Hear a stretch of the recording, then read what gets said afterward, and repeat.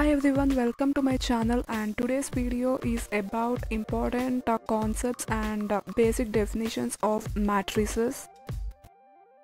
A matrix is nothing but a rectangular arrangement of numbers in rows and columns. So the first topic is about the order of a matrix.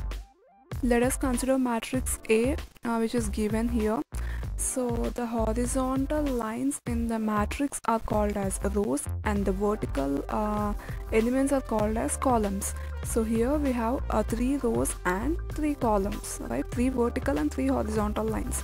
So here the order of the matrix is 3 by 3 that is rows by columns. The third topic is a diagonal matrix. So let us consider a matrix A as a given here. So a diagonal matrix is a matrix where the principal diagonal elements are not zero. The other elements of the matrix must be zero whereas the principal diagonal of a matrix uh, will not be zero. So such type of a matrix is called as a diagonal matrix.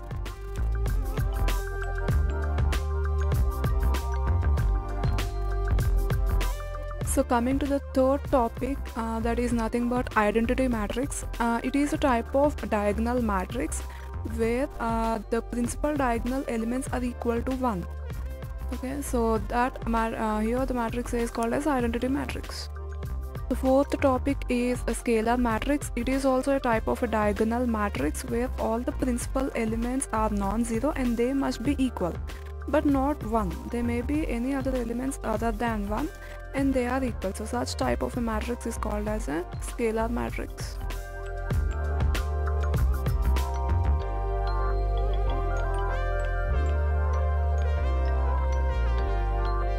The fifth topic is a trace of a matrix.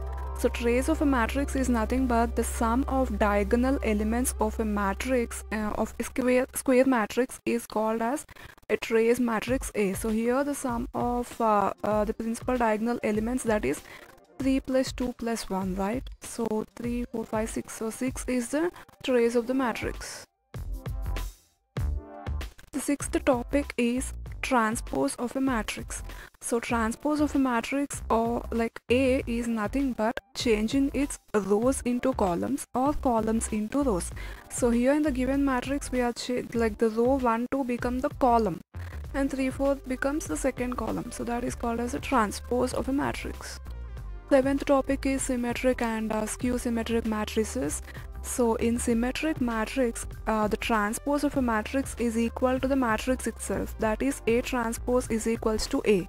And in skew symmetric matrix, A transpose will be equal to negative of the given matrix. That is A transpose is equals to minus A.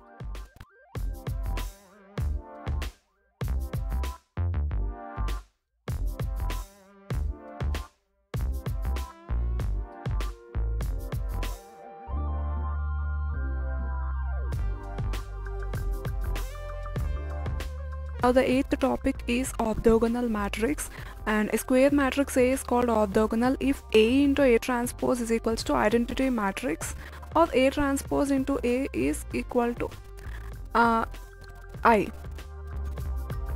Ninth topic is inverse of a matrix. So let us consider a square matrix A and its inverse is obtained by the following formula that is adjoint A by det A. So the last and the tenth topic of our video is cofactor of an element of a square matrix. So cofactors are important in finding the adjoint A through which we can find out the inverse of a matrix.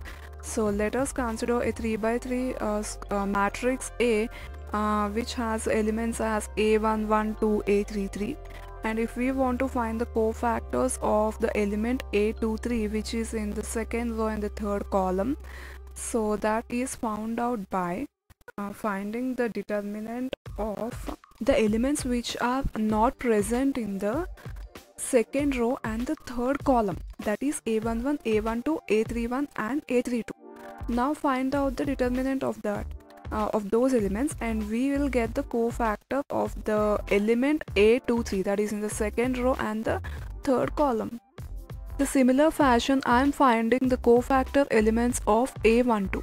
that is uh, the cofactor uh, the determinant of the elements which are not present in the first row and the second column will give us the cofactor of that particular A12 element. Thank you so much for watching guys and see you in my next video. Till then take care. Bye.